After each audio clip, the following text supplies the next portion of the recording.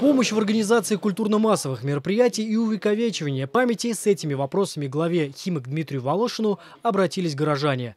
Так, представители мусульманской общины посетовали, что в городе сосредоточена крупная религиозная община, которую не вмещает ни одно здание.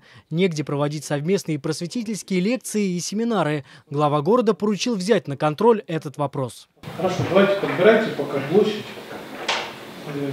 Там вы тогда дальше. По ходу, когда вы подберете, мы еще раз встретимся, вы тогда подготовьте, из чего будет состоять этот культурно-досуговый центр, что него точно будет входить, и мы уже дальше по этой части будем двигаться.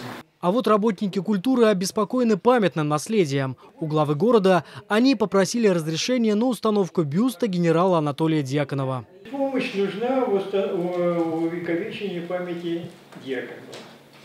Дьяконов для нас гордость. Анатолий Дьяконов, герой Советского Союза, в конце 1941 года сформировал бригады из младших курсов военных училищ. Молодые солдаты стояли в Старбеевском лесу и защищали подступы к Москве. После войны, он уже был генерал-лейтенантом и так далее, ему предложили э, на, на выбор любое место Подмосковья. И он, не задумываясь, сказал Химки, Старбиево, где стояли мои мальчишки. И после этого, значит, он у нас в Химках прожил почти 20 лет.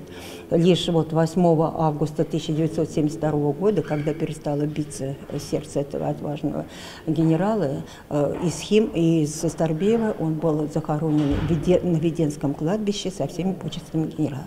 Глава города поручил профильной комиссии рассмотреть все собранные документы на установку бюста.